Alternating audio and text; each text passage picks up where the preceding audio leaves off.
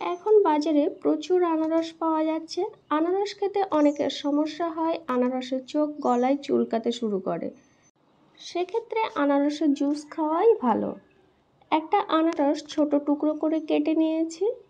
এরকম একটা জুসার নিয়েছি। এই ধরনের জুসার কম বেশি অনেকের বাড়িতেই থাকে। জুসারের মধ্যে ধীরে ধীরে টুকরো করে রাখা আনারসটা দিয়ে দিলাম। একটা প্লেট রাখলাম সামনে যাতে ছিবড়েটা গিয়ে প্লেটের উপরে পড়ে। জুসারের উপরের পাটটা দিয়ে ফলের উপরে এক হাত দিয়ে চাপ দিতে হবে আর এক হাত দিয়ে হ্যান্ডেলটা এভাবে ধীরে ধীরে ঘোরাতে হবে। জুসারের উপরের পাটটা তুলে আবারও কিছুটা ফল দিয়ে দিচ্ছি। একই পদ্ধতিতে আবারও রস বার করে নিচ্ছি। একটু টাইট মনে হচ্ছে, সাবধানে এটা ঘোরাতে হবে। এভাবেই কিছুটা জুস বার করে নিয়েছি। অর্ধেকটা আনারস থেকে এই জুসটা বার হয়েছে, বাকি অর্ধেকটা জুস বার করে নেব। এভাবে গ্লাসের মধ্যে ধীরে ধীরে ঢেলে দিচ্ছি।